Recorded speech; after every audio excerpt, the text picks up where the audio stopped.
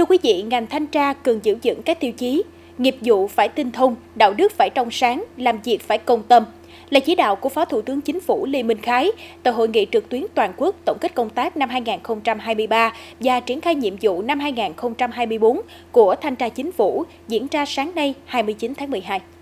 Tham dự tại điểm cầu thành phố Cần Thơ có ông Dương Tấn Hiển, Phó Chủ tịch Thường trực Ủy ban nhân dân thành phố Cần Thơ, lãnh đạo thanh tra thành phố, thanh tra các ngành, các quận huyện.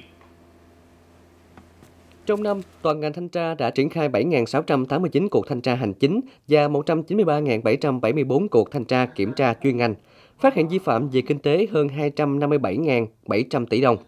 Công tác phòng chống tham nhũng được đẩy mạnh. Trong năm đã phát hiện 114 vụ việc, 176 người tham nhũng và liên quan đến tham nhũng. Phát biểu chỉ đạo hội nghị, Phó Thủ tướng Chính phủ Lê Minh Khái đề nghị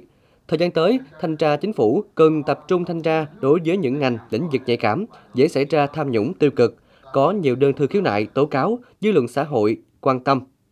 Giải quyết kịp thời, dứt điểm ngay từ cơ sở, không để phát sinh điểm nóng, thực hiện đồng bộ các chủ trương chính sách pháp luật về phòng chống tham nhũng tiêu cực.